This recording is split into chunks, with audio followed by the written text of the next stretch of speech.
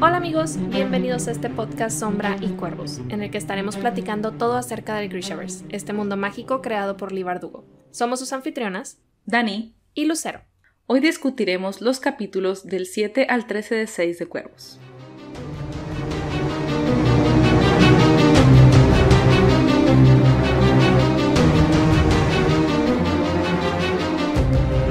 Nuevamente bienvenidos y gracias por acompañarnos en esta nueva emisión que es nuestra tercera sesión discutiendo Seis de Cuervos.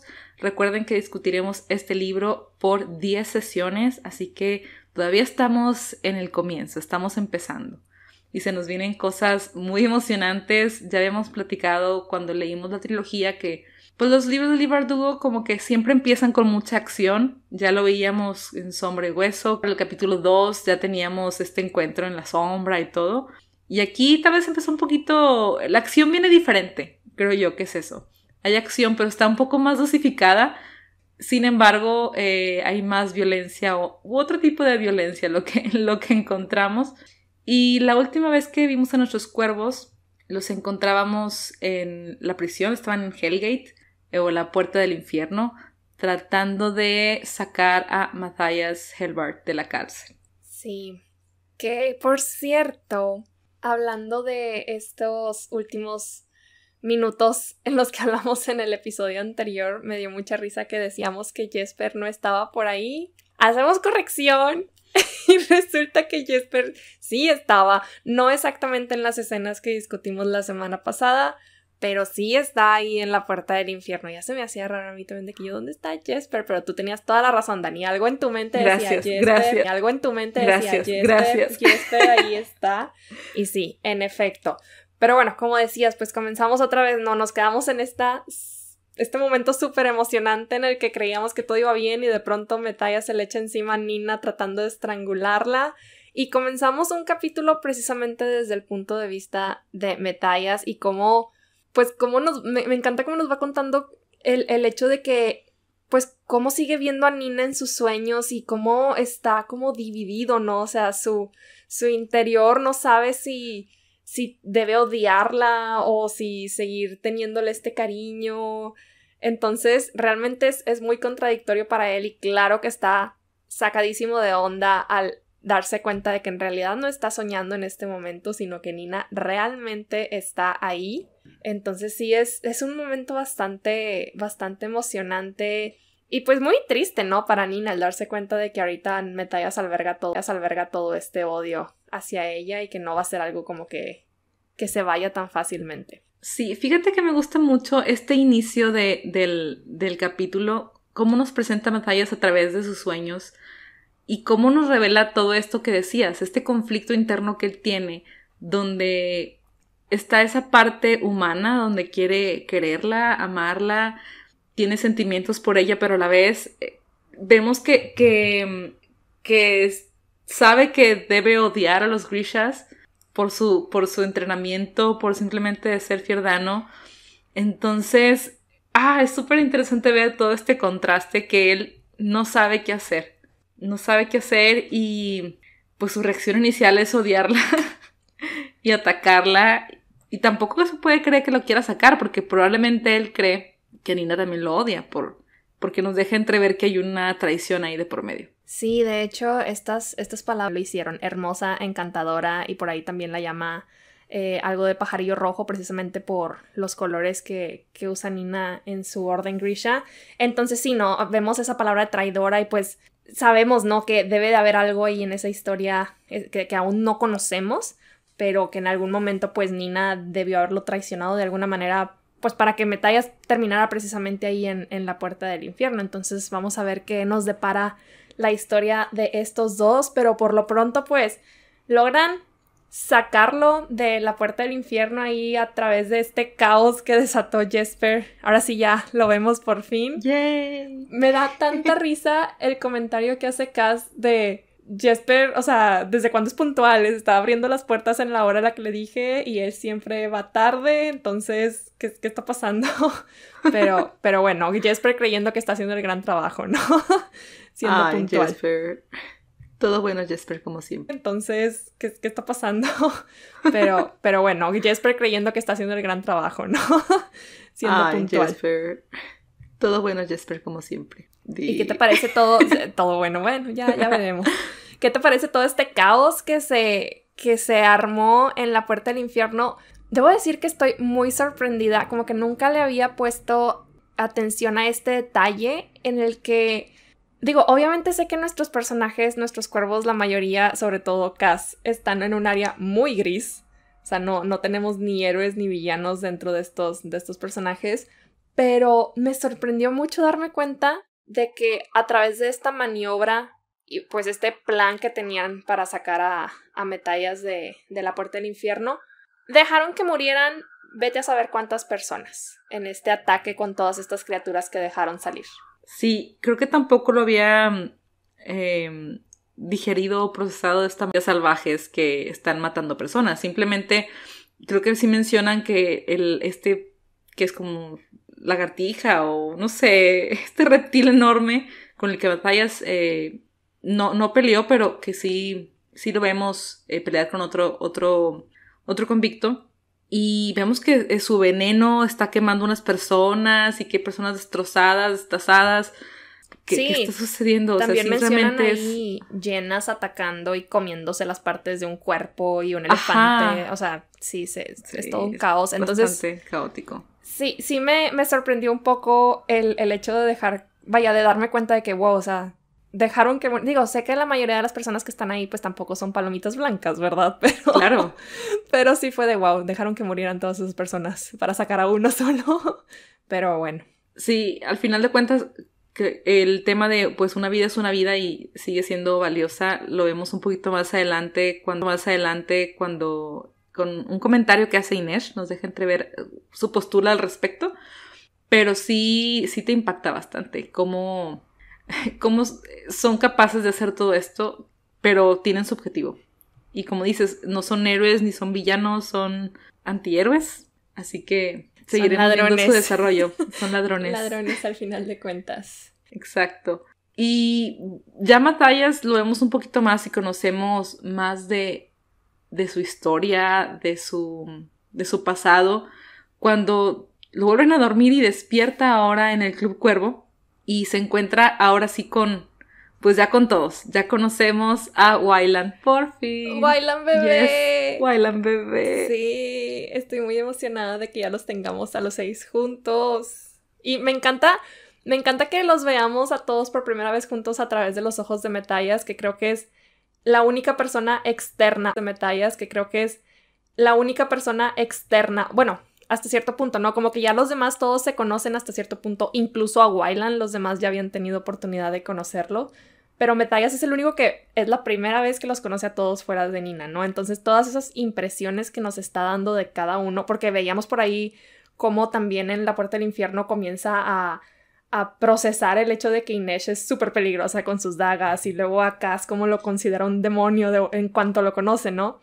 Este, entonces sí, sí está, se, me hizo muy entretenido el, ver todas estas impresiones de alguien que, pues a lo mejor si es la primera vez que lees el libro, es la primera vez que te estás topando estos personajes, igual que él. Sí, la verdad es que regresando a lo que dijiste de Inés siendo súper peligrosa, me dio mucha risa cuando dice que sintió que le había, le había golpeado un, un puño muy pequeño. Y yo, ay, sí, porque pues Mataya es súper enorme. Sí. Inés toda petit y el puño todo pequeñito. Ya, ya lo decíamos, Inés está preparada y se sabe defender. Claro, para toda esta lista y su tamaño no tiene nada que ver con su capacidad para pues para pelear, defenderse y hacer todo, todo este daño.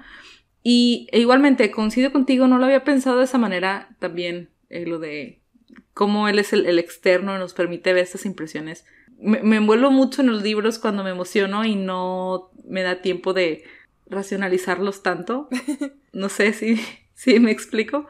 Entonces, sí es cierto, vemos todas las impresiones e incluso cómo va asociando comentarios que, que, había escuchado, por ejemplo, de Cass, sobre cómo le llamaban manos sucias, porque no había un pecado que no pudiera, que no cometiera por el precio justo. Y esto lo escuchó en la cárcel, en la prisión. Entonces, la reputación de Cass estaba ahí. Su reputación lo precede. Así es.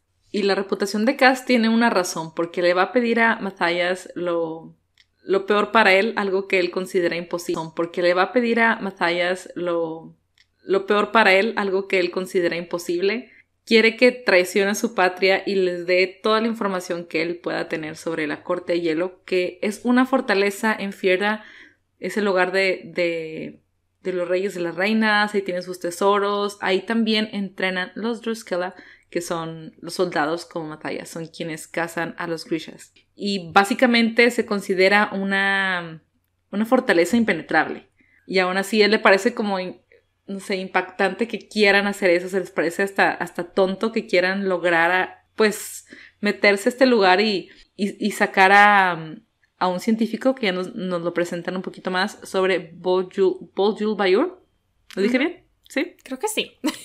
Siempre leo mal su nombre. Ay, está difícil.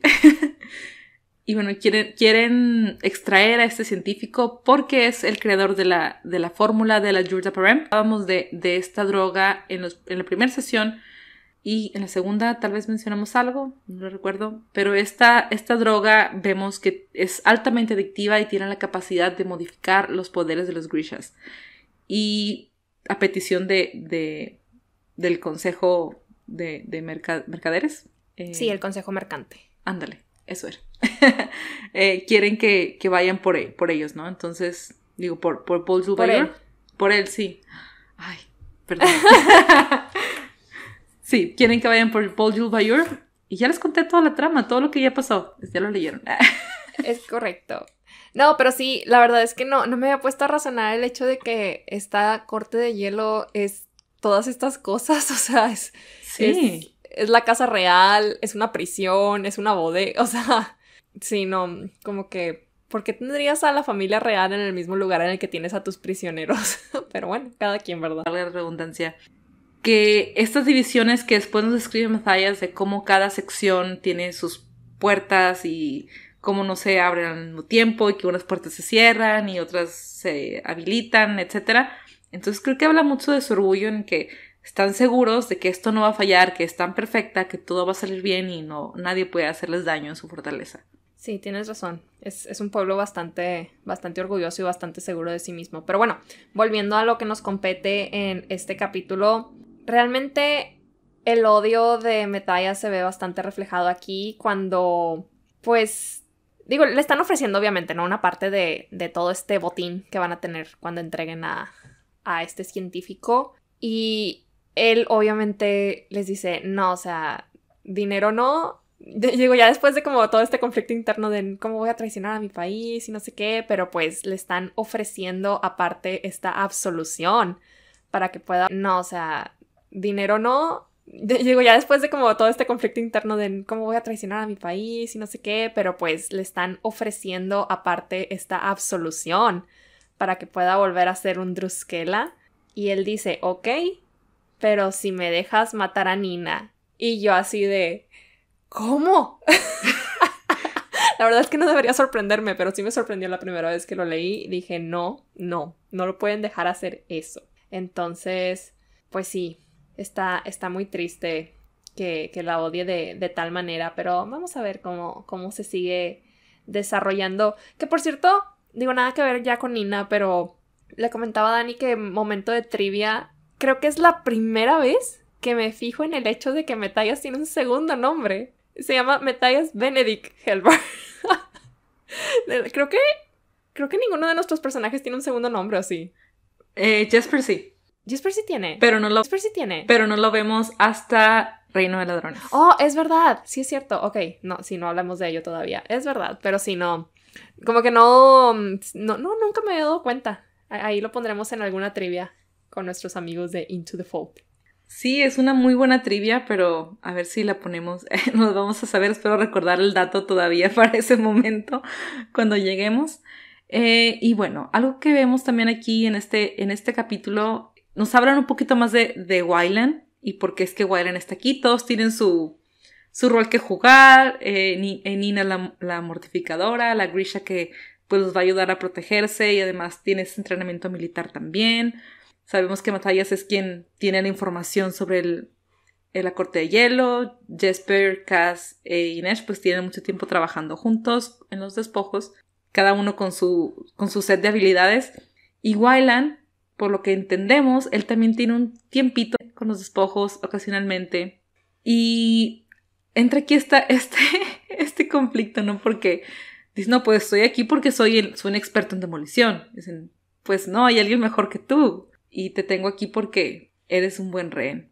Y lo presenta como Wyland Vanek. El primer plot twist de esta historia. No lo vi venir.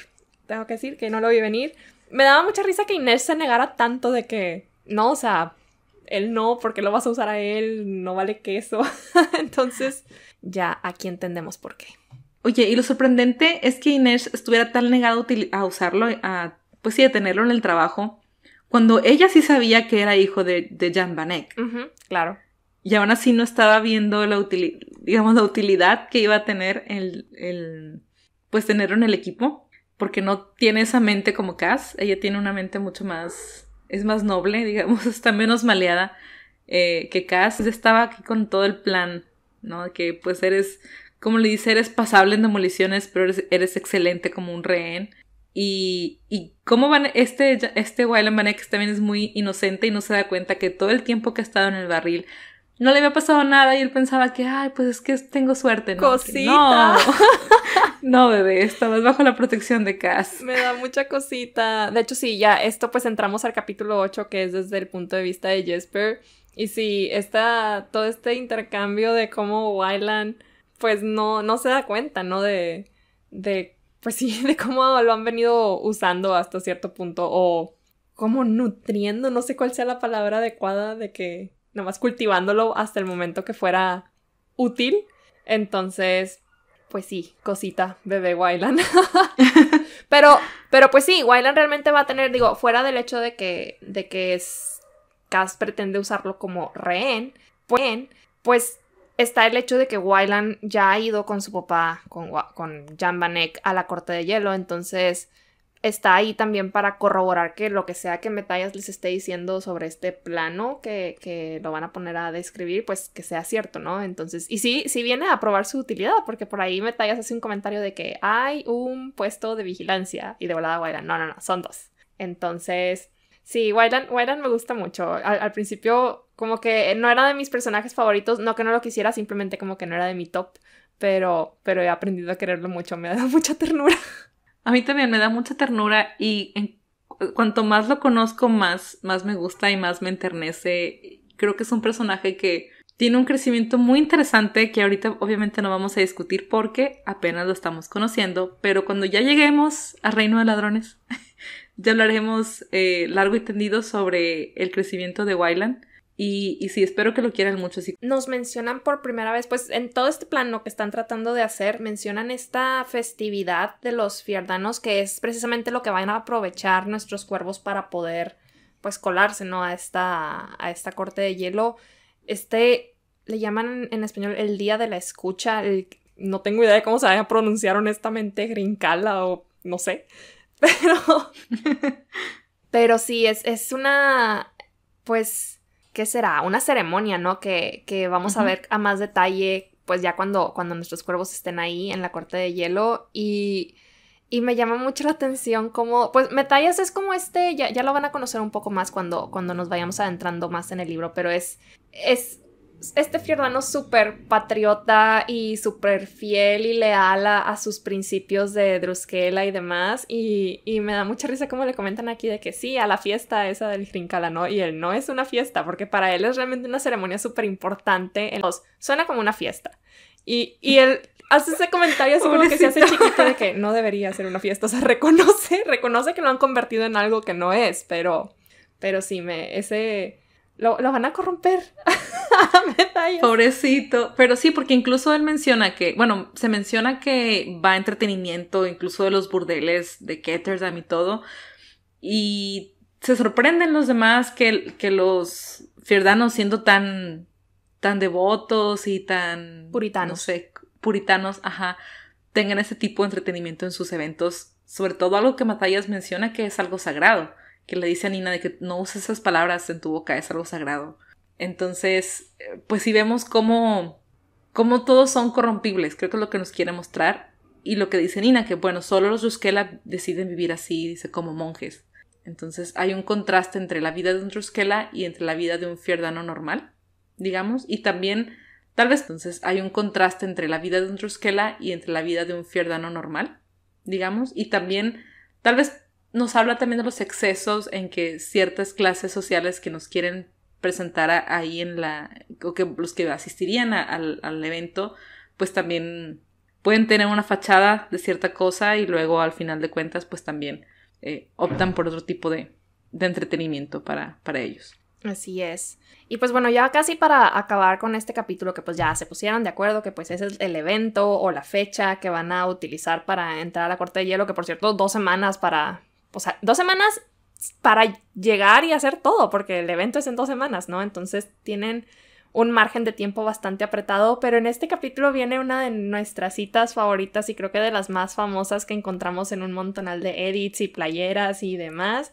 que es cuando Cass les pregunta cuál es la forma más sencilla de robarle la cartera a un hombre y todos con sus ideas diferentes, el cuchillo en la garganta, Jesper con sus pistolas, eh, Nina sugiriendo veneno y metallas, ¿no? De que todos son horribles. a mí me encanta esta reacción porque creo que es una reacción muy natural de que, ay, qué fastidio con ustedes, todos son horribles personas que hago aquí. sí. Pero, pero me encanta la respuesta, como la respuesta correcta, ¿no? Que les da Cass, porque es algo que vamos a ver puesto en práctica más adelante y que es una realidad. Él les dice, la forma más sencilla de robarle la cartera a un hombre es decirle que vas a robarle el reloj. Y siempre, siempre me acuerdo de esto cuando voy en la calle y traigo mi celular en el pantalón o mi cartera y que voy a cada rato agarrando así de que, si traigo la cartera, si traigo el reloj, si traigo esto, diciéndole a todo el mundo de que traigo algo importante. Entonces, sí, Cass, Cass está presente en mi vida todo el tiempo. Me acuerdo de él. Espero nunca me roben realmente por estar haciendo este tipo de cosas. Oye, sí, yo también hago eso y siempre me acuerdo que, que te dando dónde están tus cosas, porque creo que sí menciona que la gente va palpando de qué dónde está su cartera y ya te está diciendo dónde está ahí, todo este rollo. Entonces, ay, sí, es bueno. Hemos aprendido algunos tips de supervivencia. de supervivencia. ¿Cómo vivíamos antes de esto? no lo sé. ¿Cómo seguimos aquí? y bueno, nos movemos al capítulo 9 en el que es, un capítulo muy cortito, realmente. Pero lo más importante creo que es que Matthias pide hablar con Cass de manera privada. Privada. Y Matthias le pone la mano en la boca a Cass y Cass nos revela aquí que sintió repulsión al tacto de piel con piel. Sí, creo que es la primera vez, ¿no? En el, o sea, de lo que llevamos ahorita en la que se nos, se nos da este, pues sí, o sea, esta, esta impresión de, de, cómo Cass tiene este problema de, pues, este, esta repulsión al tacto, ¿no? Sí, y como dice Cass, que como es algo que él estaba esperando, dice Cass que como es algo que él estaba esperando, pudo controlarlo, sin embargo sintió muchas náuseas y, y vemos que es algo fuerte, algo muy fuerte para él que, que claramente es difícil de controlar porque no pudo suprimirlo por completo. Es algo que está ahí presente y pues sí, es algo que, con lo que Cass tiene que vivir todos los días. Pero la manera en la que se defiende de Metallas me da mucha risa que justo antes de esto, o sea, cuando Metallas le, le dice que quiere hablar con él a solas, Inés le avienta la mirada de como preocupada, ¿no? Y, y en, en, el monólogo interno de Cass, él se dice que a poco cree que no me puedo defender de esta masa gigante. Entonces, pues sí, creo que, creo que Inés era como que el pensamiento que tuvo como que está ahí ella para, para protegerlo, pero pues Cass tiene que afrontar esto solo. Y, y no, realmente pues no, digo, no ocupa ayuda, porque por más lisiado que esté, entre comillas, más, más me, me muero por ver que, que adapten en, en, el show. Cass contra Metallas. Metallas sometido en el suelo por completo con este bastón. Sí, ya lo quiero ver también. Y luego al final lo que dice, le dio una patada en los, en los riñones por si acaso a veces no saben cuándo, que, quedarse en el suelo. Y yo, uy, qué fuerte. Qué fuerte. Y sabes que cuando lo leía me acordé, la verdad es que ya tengo rato de no ver los episodios, pero tengo la sensación de que hicieron algo similar cuando en el episodio 1 o 2 de la serie vienen los hombres de Pekka Rollins a atacar a Cass en su, en su despacho y lo están pateando en el suelo. Siento como, bueno, lo sentí como si hubiera sido un reflejo de esto, ¿no? De que lo patean porque no sabe cuándo quedarse en el suelo, ¿no? Este, pero sí, puede, puede que esté leyendo más entre líneas, pero, pero sí, va a estar... interesante. Sí, un, un paralelo en mi cabeza. Por siempre. Y bueno, seguimos con el capítulo 10. Con el capítulo 10, han sido muchos capítulos eh, esta sesión. Y aquí ay, hay muchas citas tan igualmente icónicas o importantes que Inés nos, nos da. Eh, yo soy fan de Inés, pero la verdad también soy fan de su papá. Ay, sí. Ya vamos a hablar de las frases que su papá le menciona y, oh, Dios mío, todas están, wow. Están bien matonas. están bien fuertes, muy poderosas. Entonces, pero bueno, comenzamos eh, con esta conversación que tiene con Cass. Bueno, que está como recordando, ¿no? Una conversación que tiene con Cass en lo que ella eh, se, se encamina a, al puerto. A todos estos encargos que le hicieron y demás. Ah, no, pero esto, esto ya es cuando ya está de camino al puerto, sí es cierto, ya se van. Sí, sí, sí ya se van, pero sí, sí menciona los encargos que, que le hizo Cass de último momento, que unos gogles y unos abrigos para frío, ropa de invierno, parafina también, entonces, que muchas cosas ni siquiera sabe para qué las quiere Cass, solamente tiene que conseguir Cass de último momento que unos gogles y unos abrigos para frío, ropa de invierno, parafina también, entonces, que muchas cosas ni siquiera sabe para qué las quiere Cass, solamente tiene que conseguir lo que le encargó. Y tiene aquí un momento en el que, pues tiene como una discusión con Cass sobre que, pues le dice, no necesito tus habilidades, o sea, perdón, necesito tus habilidades, no te necesito a ti, no es lo mismo. Ay, lo quería golpear. ¿Verdad? Yo también. ¡Qué necesidad! O sea, Cass, reacciona, por favor. A, cada rato quiero golpear a Cass, nada más para que quede claro. Golpearle y darle un abrazo también. Necesita un abrazo. Necesita un abrazo, sí. Pero sí, realmente esta, esta, pues sí, esta conversación creo que, sobre todo hablando de, de cómo la semana pasada comentábamos, ¿no? Que el tema de cómo Cass le habla a ella o, la, la, trata como si fuera una inversión y luego viene a hacer este tipo de comentarios. Entonces sí es como detallitos que se van apilando y que dices, te vas a arrepentir, te van a callar la boca. Sí. Pero ya, ya lo veremos, ya lo veremos. Pero bueno, hablando de las citas de, de su papá, esta cita acerca de las flores, creo que es de tus favoritas y favorita de muchos. La he visto, ay, la he visto en cuadros incluso. Oye, qué buena idea. Voy a pintar un cuadro con esa frase. Para que compren los cuadros en Etsy. Ah. ya sé. O en Redbubble. eh, sí, sí, es de mis frases favoritas y creo que lo mencionamos cuando hicimos, creo que fue el capítulo 5 de la serie, que analizamos el capítulo 5 de la serie, porque vimos también un paralelo entre lo que pasa ahí con Alina y el oscuro contra esta frase de, bueno, Alina y Mal y el oscuro. Y esta frase en la que menciona que dice, algún día conocerás a un chico que pues conocerá tus, tus flor favorita, tu canción favorita, tus pequeños como detalles eh, o frases de sabiduría que nos está dando. También la otra frase que yo sé que es de tus favoritas, la del corazón es como una flecha. Sí, me encanta. Son muy importantes eh, para el fandom y también a un nivel personal. Creo que a, muchos nos ha tocado eh, estas, estas frases de, de manera personal y, y, bueno, no sé qué les parecen ustedes. ¿También les, les llegaron estas frases? Cuéntanos por favor en, en los comentarios, en los mensajes, qué les, qué les parecieron, porque no son las últimas frases que vamos a ver y, y son muy buenas todas.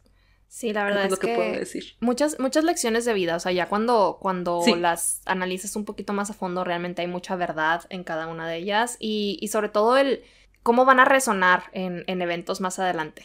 Es lo que, lo que me gusta mucho, ¿no? Cómo, cómo nos van dejando ver un poquito sobre pues a lo mejor situaciones que vamos a, conocer en un futuro o que, ¿no? Como, como nos van dejando ver un poquito sobre, pues a lo mejor situaciones que vamos a, conocer en un futuro o que, o, a lo mejor otros eventos que vamos a ver del pasado, etc.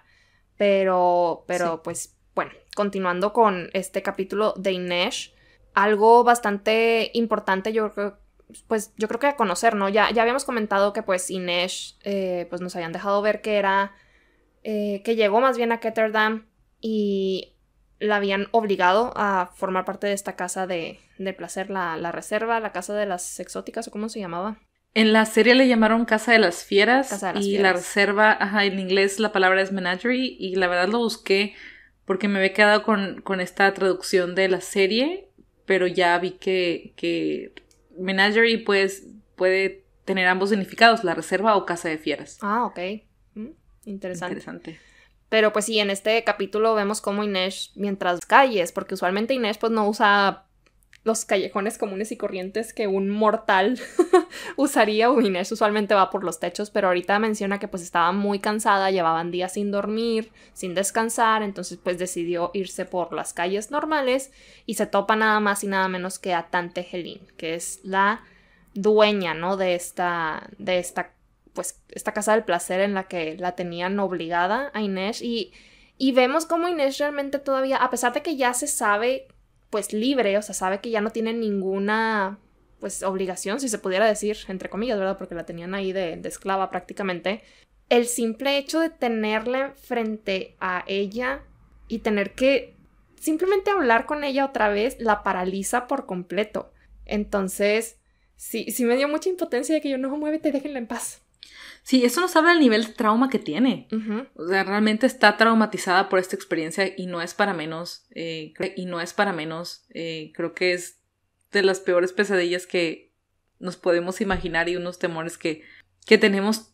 Yo creo que todas las mujeres eh, y segura que muchos hombres también, al pensar en, en la realidad que, que muchos países viven, respecto a la trata de personas. Y a pesar de que este es un libro de fantasía y que en general es bastante divertido, nos tiene eh, todas estas eh, aventuras, trata muchos temas importantes y relevantes en nuestro mundo actual. Si bien en nuestra actualidad la esclavitud es, está prohibida en muchas partes, en casi todo el mundo, si no que en todo el mundo, la trata de personas sigue siendo una realidad y es un temor que, con el que mucha gente tiene que, vivir y, muchos países y muchas ciudades donde la gente se desaparece todos los días para estos fines. Entonces sí, sí es algo que, que pues me gusta. Sí es algo que, que pues me gusta que, que Lee Bardugo indague en sus libros porque nos permiten pues tener este paralelo, ¿no? Entre el mundo de fantasía y la realidad en la que vivimos, porque sí le da un poquito de luz a las situaciones que, que, están en nuestro mundo.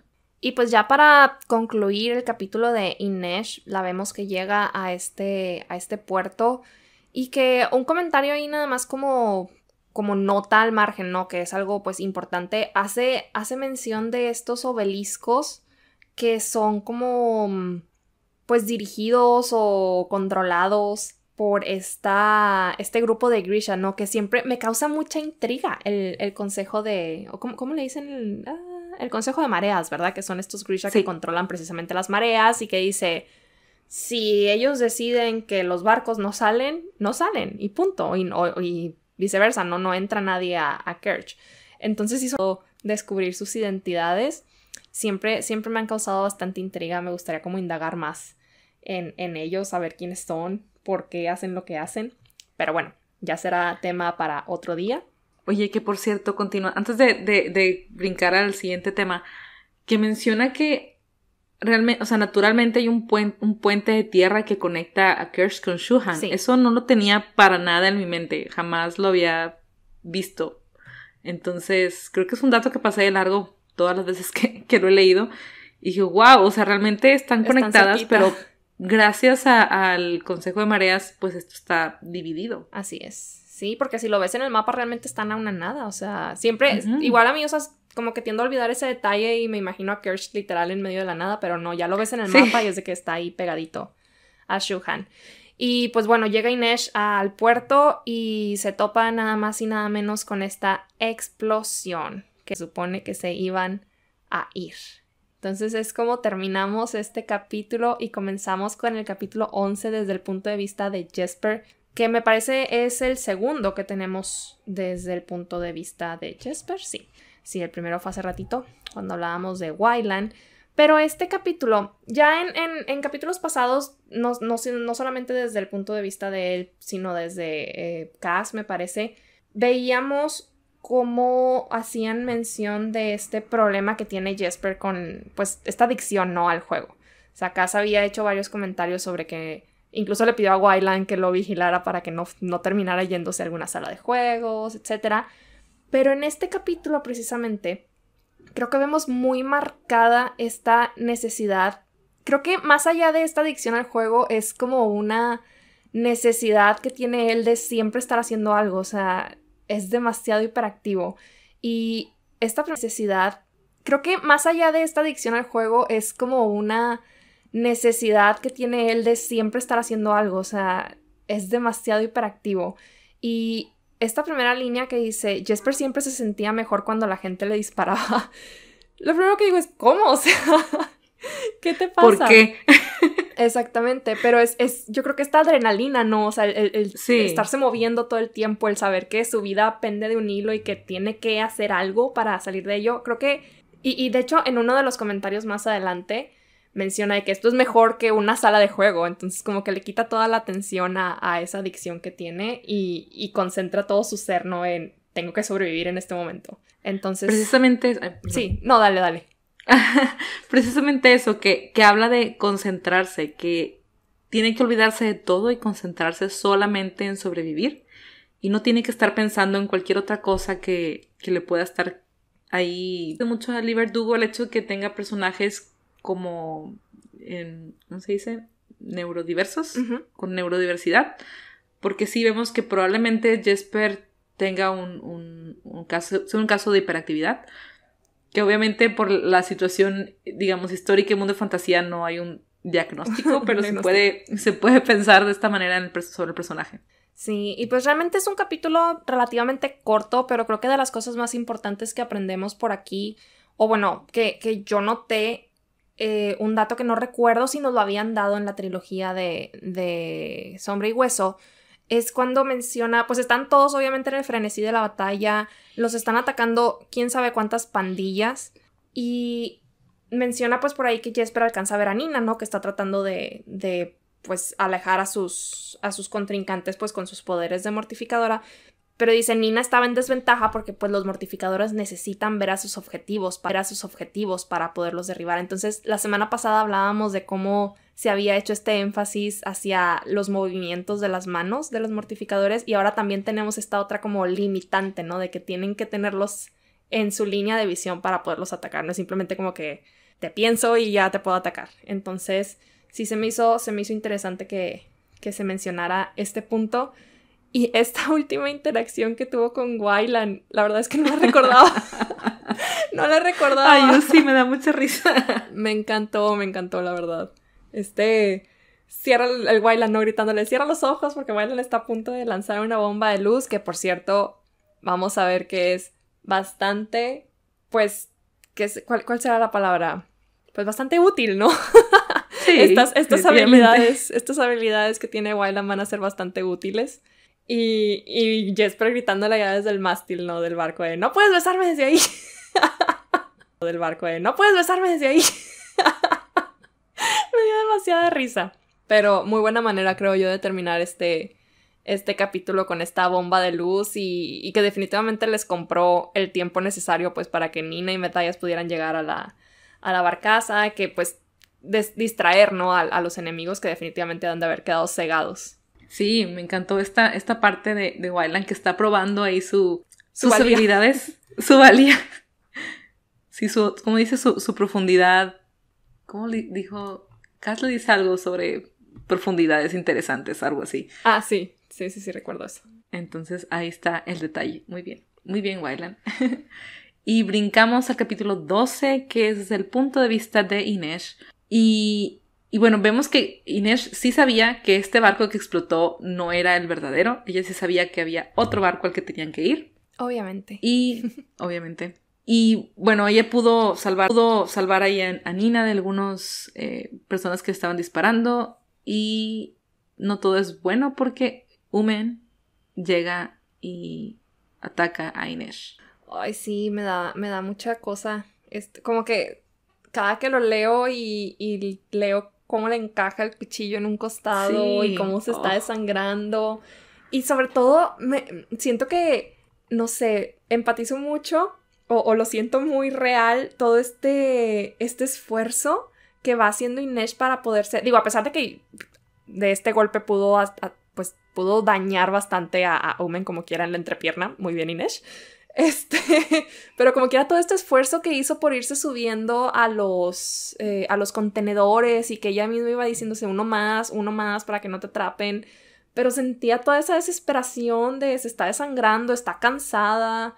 Ay, no, yo ya, ya sentía que se le iba la vida. Entonces, cuando. Que estaba Inés en peligro, me imagino que la, vio llegar o algo y, y llegó a su rescate. Pero esta parte que tienen ya cuando cuando llega Cass, o sea, esta interacción de, de me debes una disculpa. Sí, pero Cass como quiera, o sea, ay, no sé, me, enternece y es algo que ya quiero ver porque somos super fans de Kanesh, ya saben, aunque de repente queremos golpear a Cass, pero todos estos, pues estos detalles, ¿no? De Cass, ya, ya mencionábamos que pues tiene esta repulsión al, al tacto, pero como quiera se la lleva en brazos, o sea, siento que tiene que dejar todo eso de lado y se la lleva en brazos y le continúa hablando de que o sea, no te voy a dejar morir, no te me escapes, sigue hablando, etcétera. Siempre estoy así como que, sigue hablando, por favor. Cosita. Y lo que le dice, le dice a Inés, has vuelto por mí y él, protejo mis inversiones. Sí, viene a arruinar todo. sí. ibas muy bien, Cass, ibas, muy, bien. Rescatando a la damisela en apuros, pero bueno. Sí, ni modo. Rescatando a la damisela en apuros, pero bueno. Sí.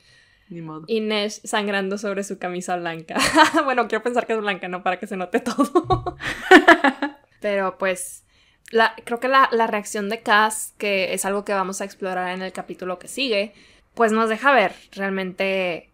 Él podrá llamar la inversión todo lo que quieras, pero está realmente afectado por lo que le acaban de hacer a Inés. Entonces, no nos puedes engañar, Cass, no puedes. Hay algo más ahí, Cass, confiésalo. Sí, o sea, la, manera en la que llega con Nina, así de que ayúdalo. O sea, Wyland, salte de aquí, tú no tienes nada. y ayuda a Inés. Es, un raspón, niño, es un raspón. Vete. sí, definitivamente era un raspón. Este, y, y, pues el hecho de que se la llevara cargando a pesar de pues esta, esta herida, no, digo, pues sí. El, problema que tiene en la pierna, que incluso menciona, parece que se hubiera vuelto a fracturar el hueso. Dije, ay, no, qué dolor. Pero todo sea por Inés. Y la reacción que tiene, no nada más de, de llevarla con tanta prisa con Nina para que la sanara, sino también los, los comentarios súper pequeños o sutiles que hace, como la puso con delicadeza sobre la, sobre la mesa y habla sobre su piel, como su piel siempre estaba como resplandeciente y ahora estaba apagada porque había perdido mucha sangre. Todos estos detalles pequeños que, eh, o sea, él está poniendo atención, o sea, él está realmente como viendo a Inés. ¿No? Está tratando de, cuidarla y protegerla. Entonces, esos detallitos que, que se le escapan, por así decirlo, nos permiten ver un poquito más hacia el corazón oscuro de Cass. ¿Y cómo, cómo compara esta desesperación que está sintiendo con, con esa, esos días de desesperación después de la muerte de Jordi? Que bueno, aquí ya vienen a confirmarnos que en efecto pues Jordi está muerto, que me imagino que ya era algo que sospechábamos, ¿verdad? Pero, pero aquí se, se da esta confirmación y pues Jordi siendo su hermano, pues obviamente, siendo su hermano, pues obviamente es como, pues le ha de haber calado bastante, ¿verdad? Y cómo compara el hecho de la desesperación de, estar, o de la posibilidad de perder a Inés, ¿no? Con, con, con su propio hermano. ¿Y qué tal el ataque a Umen? Que yo sé que es de tus escenas favoritas, porque miren, Dani la ven así toda seriecita y demás, pero a Dani le encantan las escenas sangrientas. sí, la verdad. Una buena escena sangrienta de Tarantino, sí. Yo en cambio no puedo ver sangre. Siento que voy a sufrir mucho cuando veamos. Pero le gustan las espadas. ¿Qué onda? Ay, pues es que, pues sí, una espada es muy bonita, muy elegante. No tiene nada que ver, volvamos al tema. Muy bien, el ojo de Umen, vemos que Cass está amenazando a Umen y esta parte en la que con esa frialdad, ¿no? Sangre fría completamente, toma este cuchillo que él ni siquiera lo cuenta como un cuchillo, porque es tan pequeño que ni siquiera lo cuenta como un cuchillo y le hace esta, esta X en su esta X en su carita, en su carita, en su carita, en su Uy, sí, la carita de un matón. perdón, perdón, en la cara de Umen que como dijo Inés es como un espantapájaros. Entonces le hace su su cruz ahí su su X y luego procede a sacarle el ojo y wow. De verdad, creo que cuando veamos esta escena en pantalla, espero que, respeten toda la, sangre que, la violencia en esta escena. Toda la violencia, la crueldad. que hay, porque digo, ya vimos acá siendo, siendo algo pues violento y cruel en la serie, pero no hemos visto este nivel. Y, y me gusta, bueno, paréntesis sobre la serie, que, que vamos a, a, ver cómo Cass, que vimos en la temporada 1, se convierte en el Cass de los libros, porque no, no está ahí todavía. Bueno, ninguno de los personajes, entonces vamos a ver esta construcción y espero llegar a, ver esta escena así de impactante, como a todos nos tiene impactados cada vez que lo leemos. Unas más comentadas también por muchos fans. Y creo que todos queremos y deseamos que se, como que se respete esta parte. Y bueno, parte de esta tortura que hizo Cass a Umen fue para sacarle información y Umen confiesa que fue Pekka Rollins el que mandó este ataque. Y qué, qué impresionante, ¿no? O sea, porque por ahí en los comentarios de Inesh me, cuando, cuando pues ella va entre, entre las sombras pues atacando a cada uno de los, pues, sí, de los pandilleros que se va encontrando y va viendo sus tatuajes, ¿no? Y se da cuenta de que realmente no es nada más los Puntas Negras se encuentra también con, la verdad es que no recuerdo los nombres de los demás, pero son varias pandillas que se juntaron. Entonces, el hecho de que Pekka Rollins tenga esta capacidad de juntarlos por un fin común, pues dinero, ¿verdad? Este, pero sí, pues Cass obviamente fúrico porque nuevamente Pekka Rollins lo menciona él, otra vez Pekka Rollins, el hombre que viene a quitarme todo. Entonces, es pues súmale, súmale algo más a esa lista eterna de cosas que tiene Cass para, para vengarse de él. Y, y sí, como decías, esta escena súper violenta, cómo le saca el ojo. Yo, wow, cada que la leo, la boca abierta de verdad, sobre todo cuando le mete el trapo sucio, en, la cuenca del... ¡Ay, no, no, no! ¡Qué barbaridad! Y todavía va y lo echa al mar, ¿no? Con esta frase que la verdad es que súper épica, siento yo, de cómo que le dice, mi espectro aconsejaría misericordia, pero gracias a ti ella no está aquí para suplicar por tu vida. Y ¡pum! Omen al mar. Wylan, Wylan así de que no, ¿por qué? Si ya te dijo que lo que quería saber, etcétera. No, la verdad es que se lo merecía. Pero... Y lo que le dice Jasper de que, oye, no has aprendido nada, o sea, no discutes con el hombre con un cuchillo bañado de sangre. ya, cállate. Sí, no, la verdad es que sí es, sí es de las escenas que más han sido ver y como dices, que ojalá la respeten. Sí es, sí es de las escenas que más han sido ver y como dices, que ojalá la respeten así, tal cual. No me molesta cuando hacen cambios mínimos y demás, pero esta escena quiero que la dejen tal cual. Por más que me voy a estar tapando los ojos, no importa. Te obligaré a verla. Sí, sí, en, en, algún punto la veré, la veré completa. Pero pues es, es de esta manera que terminamos este, este bloque de capítulos. Vamos a continuar pues con unos capítulos que todavía se nos vienen bastante emocionantes, con un cast que pues va a estar planeando todavía no este ladrillo a ladrillo para poderse vengar de Pekka Rollins. Muchas gracias por escucharnos en esta sesión. Los esperamos la próxima semana donde estaremos discutiendo los capítulos del 14 al 18. Esta vez son menos capítulos, ya saben que es, es, aproximadamente la misma cantidad en páginas, así que listos leyendo de los capítulos 14 al 18. Y sin más por el momento nos despedimos, sin llantos, sin...